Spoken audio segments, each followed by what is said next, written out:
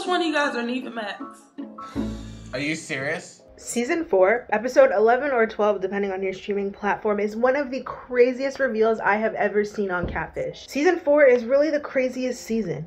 I feel like the producers really did their big one when putting the season together, and I love them for it. Tiana, who is 21 and currently lives in Charlotte, North Carolina, is writing into the show on her own behalf. She is currently dating a 24 year old man named James who lives in Statesville, North Carolina, and works as a mechanic. They fell in love quickly, and he is the first and only man she has ever been in love with. They met on MySpace. That's already a red flag. But, anyways, she says that he's really into her. The thing that draws me to James the most, he really wants to know everything about me. Which isn't weird at all, right? For someone you've never met to want to know all about you. That's not weird. Stand up! Stand up!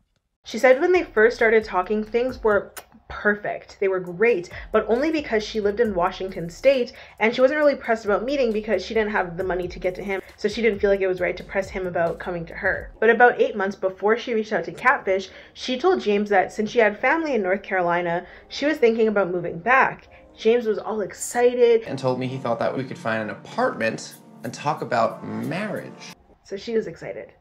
So she moved back. Lord have mercy. Mm-mm-mm. But surprisingly, big shocker here, it has been five months since she made the move and they still have not met. She consistently makes date plans and he always flakes. First red flag, you are always making the plans. Second red flag is that you made the plans more than once after he flaked. After that, I'm not making plans, I'm blocking you. So Charlotte and Statesville, they're about 45 minutes away, so Nev and Max conclude that he just does not want to meet her. That's just because they don't want to meet Right. But they hop on the Skype call with her anyways, and she says that she watches the show, yet she doesn't know which one is Nev and which one is Max. Which one of you guys are Neva Max? Are you serious? Tiana. I feel like that's so embarrassing to admit out loud. Obviously, the fine silver fox is Max, obviously. She says that they met almost immediately after she had her daughter, Journey. She said that he randomly messaged her, but he did not have a real picture of himself, which should have been a huge red flag in and of itself. Why are you talking to someone who you don't know what they look like? About after a month of talking, he sent her a picture of himself, allegedly, apparently, and asked her to be exclusive, and she agreed.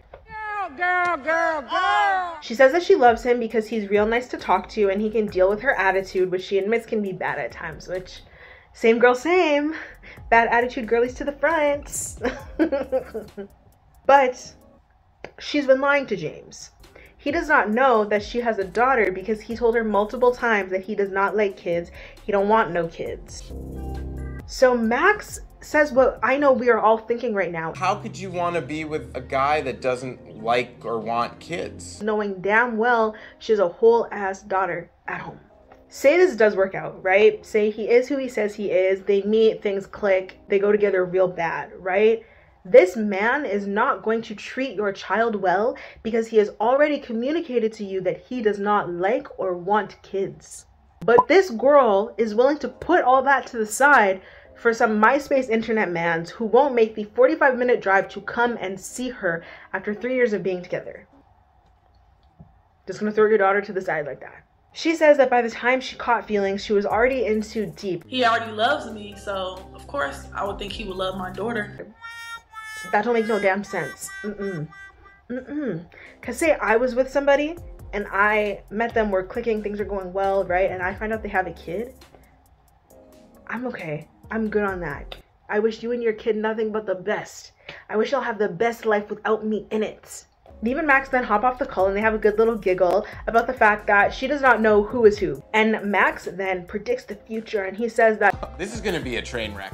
but he can't wait to see it. This man is so messy, and I live for it because me too, I love the mess.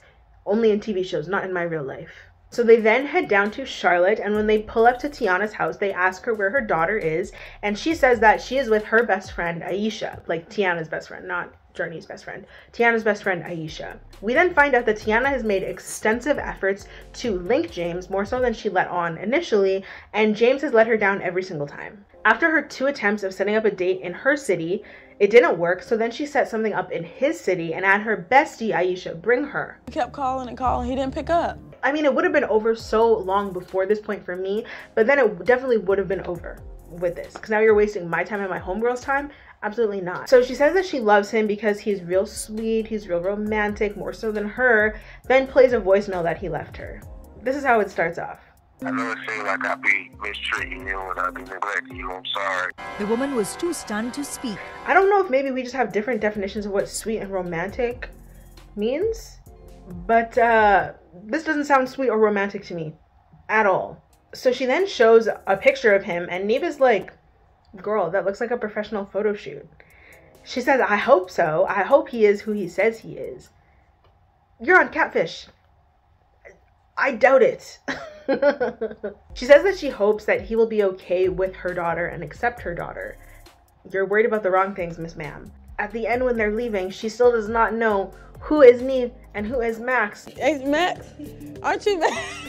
I'm not telling you. I don't know why. I found that so funny. Especially, I think it must have been humbling for Nev and Max because, like, yeah, we're on our fourth season, we're established, people know who we are, and then this girl who's on the show and wrote into you for help does not know who is who. Nev and Max then head off and get to investigating. Nev says that they are dealing with a classic catfish situation, which, yeah, pretty standard run of the mill stuff here, I think, especially because they met on MySpace. Nev guesses that the reason he is so adamant against kids is I, I almost suspect that maybe he has a kid. and just does not want any more, so he lied and said that he doesn't like kids. And Nev can also see the future apparently this episode. That's crazy. so they then reverse image search the pictures. The first one comes up with a bunch of hits for a musician from Fayetteville, an artist named Classified Tipsy Twist, which is a stupid ass name. Video message in a minute there. We'll just keep y'all updated. Max says that they'll show her the video of him talking to know whether the voices match or not. The guy in the picture's real name, so classified Tipsy Twist, his real name is Gregory Johnson. Uh, like you know the the names that you would see on phone boxes, like George Smith, Gregory Johnson. It's giving fake name. Anyways, they then decide to look up James Sloan on Facebook, which is the name that Tiana gave them, and they find a bunch of profiles, but they find a page in the specific area with the same job that Tiana said that James has. They think it's him, but this is an old white guy. And Max is like, Whoa, that's something to hide. Yeah, sir, I'd, I'd say so. He then says, with a little too much enthusiasm, might I add, Finally, we found the 50 year old, like, pervert guy. Okay. All right. So then our boys, they head off to meet Aisha, Tiana, and Journey and fill Aisha and Tiana in on what they know. We then find out that Aisha and Tiana met on Facebook years ago and they've been friends for a significant amount of time. Aisha is in a relationship Are you in a relationship? Yeah, you can fade it. with a man who is the father of one of her four children. So she has hella kids herself. That will be important to note later on. So just save that save that piece of information for later on. Aisha says that if she were in this predicament, she wouldn't have let it go this far, which me too, girl. Three years is insane, especially when you live in the same state Be fucking for real. and you're not even like a full hour away. That's crazy. Max then drops the bomb that Mr. James does not like kids. That's gonna be awkward. And I feel like that's that's underplaying it. That's downplaying it. Is underplaying a way to say it? You know what I mean. I feel like that's an understatement. That's what I'm looking for, an understatement. Finally! Nev and Max then give the two besties a recap. They tell them everything I just told you. They show her who the man in the pictures actually is, and then they show her the YouTube video and ask if this is the voice that she's been talking to.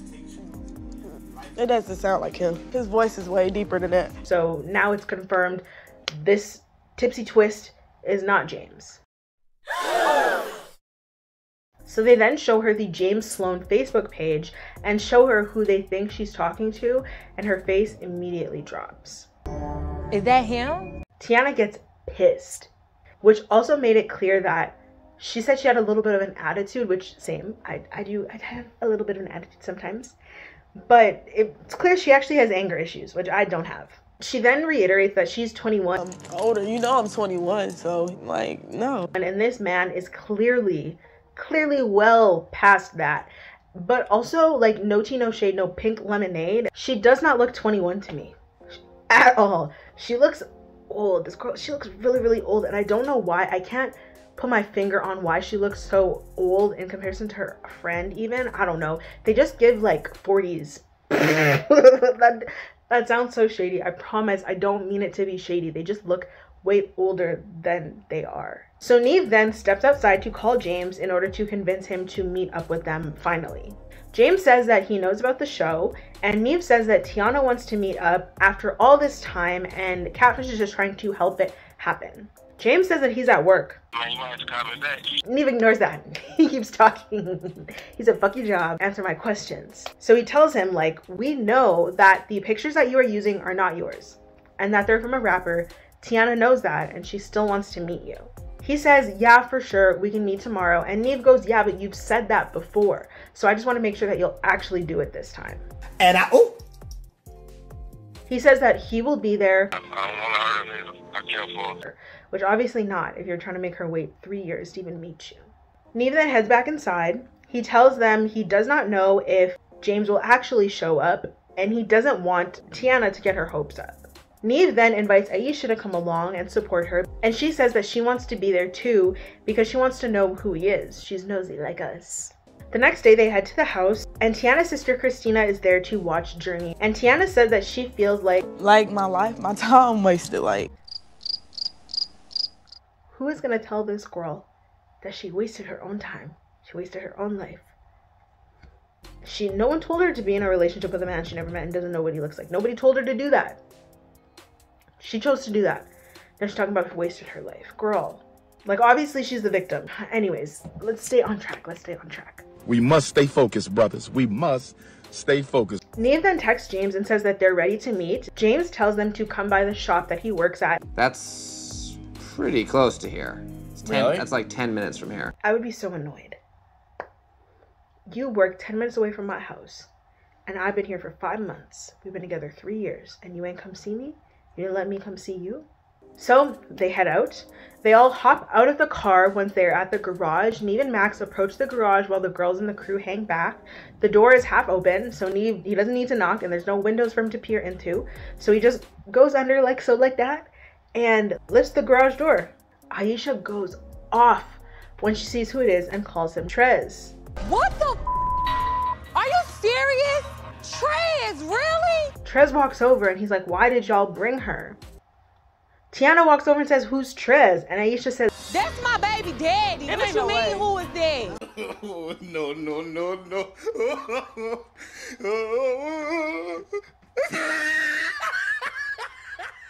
That's who now? It's your what now? Now, everything from this point on is pretty chaotic. It all seems to be happening pretty fast, and the way that the episode was cut up didn't really help. So I'm just going to do my best to recap it in a way that makes sense, and hopefully, fingers crossed, you'll be able to follow along. Aisha's so hurt, and Tiana is pissed, which makes sense because she has anger issues. Tiana says that they set her up, and she says that this is now going to get between her and Aisha's friendship because how could Aisha not have known? What am I tapping? Girl, you spoke to a stranger on the internet for three years. And instead of getting mad at the man who played you and lied to you, you're mad at the woman who was also duped, played, and lied to? They have one kid together. And so Tiana is like, oh, so you do have a child, acting like she wasn't also lying about her kid. I just, that, that seemed like a stupid thing to hone in on, in my opinion. Trez says that this was messy. Why y'all bring my baby mama, man? Nev said, We didn't know this was happening, but my guy, Trez, you were messy. You created this mess. And now you want to blame other people. Max then goes and talks to Aisha, who is pissed in the car. And then I, in the car. then Aisha storms out of the car and eats Trez's ass up. She reveals that he sabotages every relationship that she has because he doesn't want her to be with anyone else. And as she's ripping him a new one, he just closes the door on her. the cameraman ate with this shot for real. He ate. She then pulls up the door. Nev's trying to like hold her back. She don't care. She don't care about nothing Nev is doing.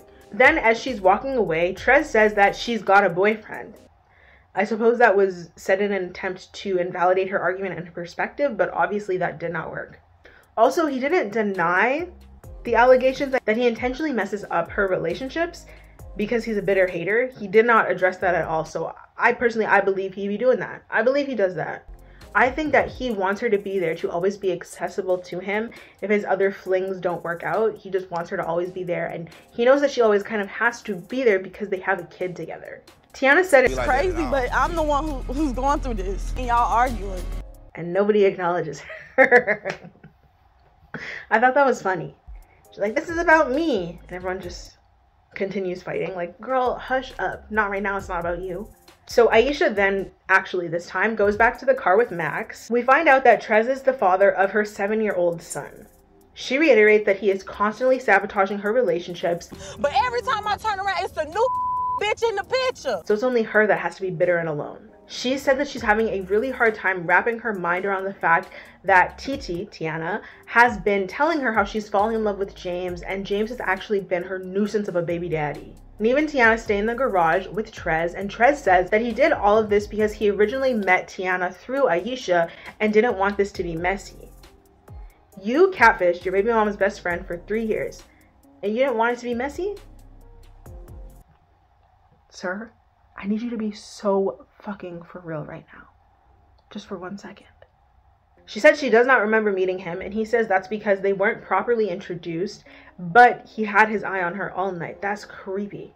He said that he was going to tell her who he was off rip, but he doesn't explain why he didn't. So that just sounds like his lips are moving for no reason. He's not saying any words that hold any weight. So Nev then tells him that it was their choice, like Catfish's choice, to bring Aisha as some support for Tiana. He also tells Trez that he clearly did not think any of this through. Tiana then heads back to the car where Aisha is still talking to Max. Aisha reveals that Trez actually helped her with He takes care of my other kids. and they have been with each other on and off, dealing with one another for about eight years now. We then find out that Trez does not have only one, only two, or only three kids. This man has eight kids. He has Like, what eight kind kids. of is this? Aisha says that she wants to apologize, but she did not know about any of this. Tiana then asks, Who am I in love with? And as Aisha is wiping her tears, she goes, My baby daddy. You're in love with my baby daddy.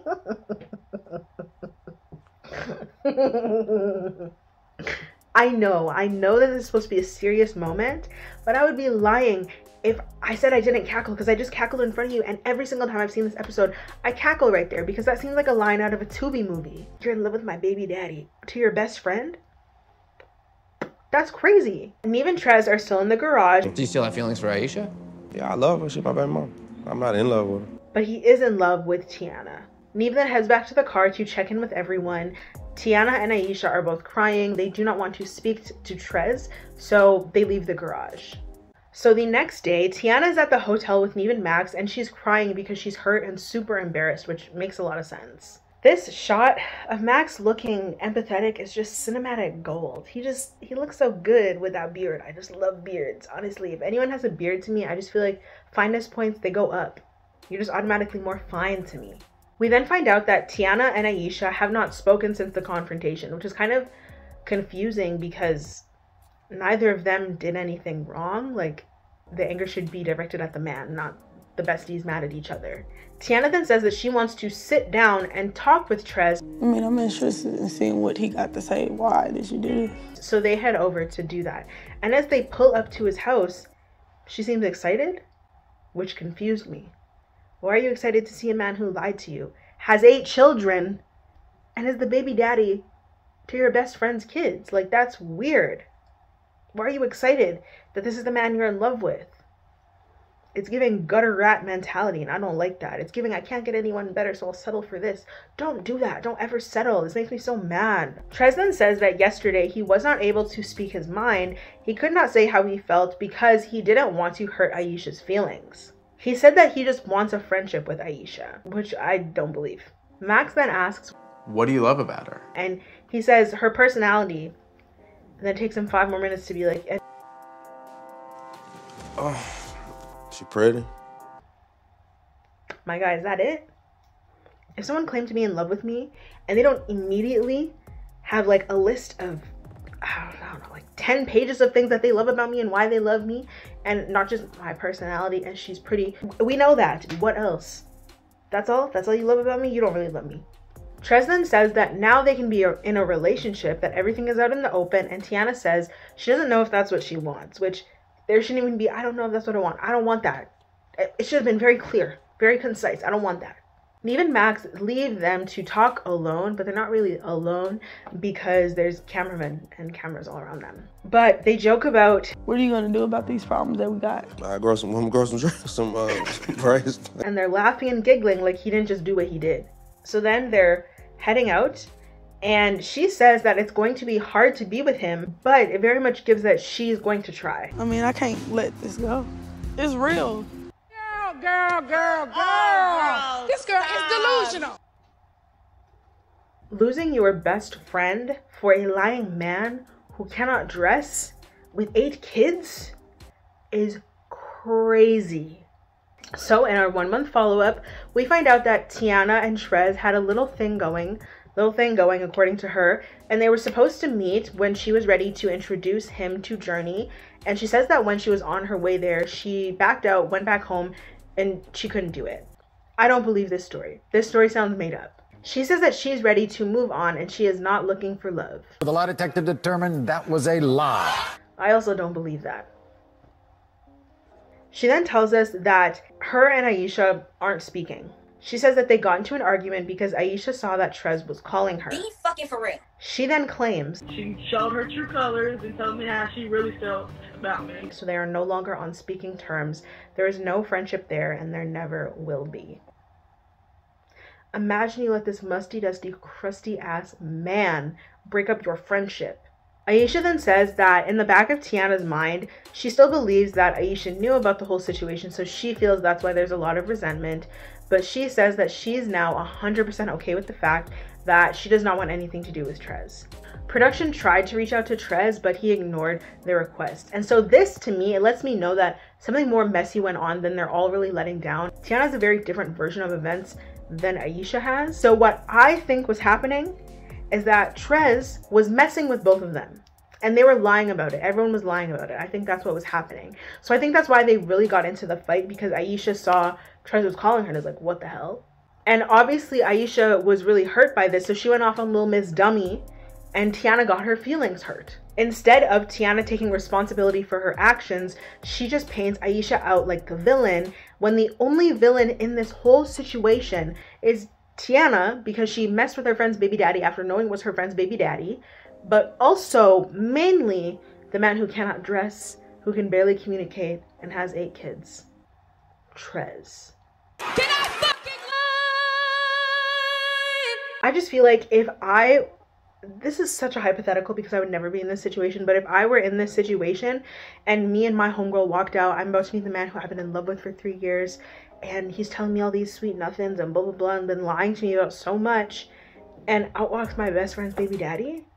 Me and her, we're jumping you. We are jumping you. And then you're never speaking to me ever again because what what the fuck do you mean? You're my best friend's baby daddy. You got eight kids. You lied. You said you had none. You lied about literally everything. You stalked me, and that's how you even found me and ended up wanting to be in a relationship with me, knowing that I was your baby mama's best friend. Disgusting. Absolutely fucking not. I think Tiana's messy for not cutting things off immediately. I think Trez sucks, and I think he's a horrible human being. And I don't think Aisha did anything wrong. I don't think Aisha did anything wrong, even if she did let Tiana have it, because I feel like if the roles were reversed and Miss Tiana, with her anger issues, found out that Aisha was still dating her baby daddy, she would have lost her fucking mind. But thank you so much for watching and thank you to everyone who requested this lovely video. If you would like to see more catfish videos in the future, make sure to let me know in the comments which episode you would like to see me cover. Make sure to like, make sure to comment your thoughts, your feelings, your opinions because I got I got lots to say and I want to hear what you have to say. And make sure to subscribe and ring that bell notification because, baby, you know you love these catfish videos. You know you're going to keep coming back for more, so just make it easy on yourself. So thank you again so much for watching. I love you, and I will see you in the next video.